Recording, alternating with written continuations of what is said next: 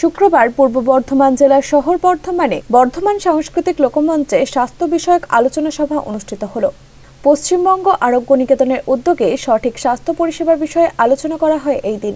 এই দিন এই স্বাস্থ্য বিষয়ক আলোচনা সভায় উপস্থিত ছিলেন justice Asim Banerjee doctor Madhusudan Banerjee doctor Sukumar Banerjee doctor Maitri Banerjee Esrat Hossain পূর্ব বর্ধমান জেলার মুখ্য স্বাস্থ্য আধিকারিক প্রণব কুমার রায় সহ অন্যান্য ব্যক্তিবর্গ। Uh, WP Clinical Establishment Regulatory Commission আছেন মঞ্চে doctor Madhusudan Banerjee member WP CERC Sukumar doctor Sukumar Banerjee আছেন ডক্টর মৈত্রী ব্যানার্জি আছেন আর আছেন secretary of the commission Arshad Hasan Warsi আছেন সিএমএচ সাহেব ডেপুটি সিএমএচ আমার কলিগ আছে আর আপনাদের সবিকে আমি স্বাগত জানাচ্ছি স্যার আপনাদেরকে এই জেলাতে স্যার স্বাগত আহ, জানাচ্ছি আমরা আহ, স্যার আপনি স্বাস্থ্য সাথী নিয়ে তুলেছেন তাহলে আমাদের আহ, সব থেকে একটা পিভিটাল যে আহ, সরকারের প্রজেক্ট সেটা নিয়ে আমরা অনেকবার আহ, ওনাদের সঙ্গেও বসেছি অ্যাজ এন অ্যাসোসিয়েশনও বসেছি।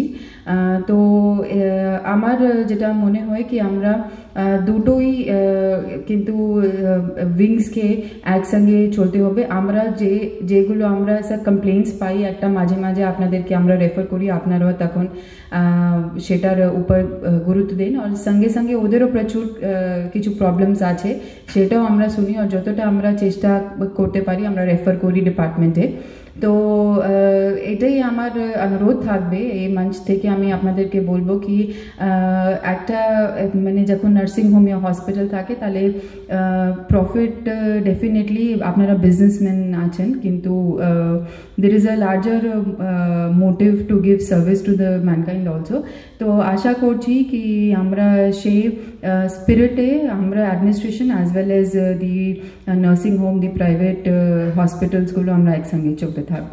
ধন্যবাদ। এই দিনের এই আলোচনা সভায় বর্ধমান নার্সিংহোম কর্তৃপক্ষ এবং চিকিৎসকগণ রোগীদের সঠিক পরিষেবা দেওয়ার বিষয়ে আলোচনা করেন।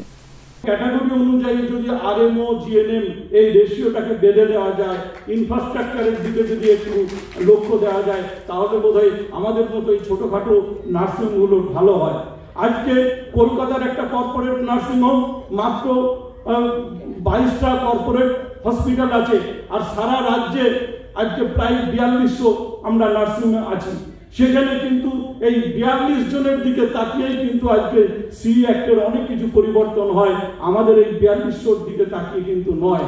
আজকে আমরা সবসময় ভয়ে থাকি, যখন আমাদের একটা লাইসেন্স রিনুয়াল হবে যখন আমাদের কিছু হবে, কিন্তু আজকে সিওমের স্যার আজকে সহৃদয় বলে এখনও নার্সিংগুলো টিকে আছে। না হলে আর এম জিএনএম এর যে প্রতুলতা আজকে যে কম, তার জন্য কিন্তু যদি সেটা সঠিকভাবে পরিসংখ্যান নেওয়া হয়, দেখা হয়, তাহলে একটা নার্সিংহোম ওয়েস্ট বেঙ্গলে বোধহয় টিকে থাকবে না। বর্ধমান থেকে পিন্টু প্যাটেলের রিপোর্ট, আনন্দ বার্তা।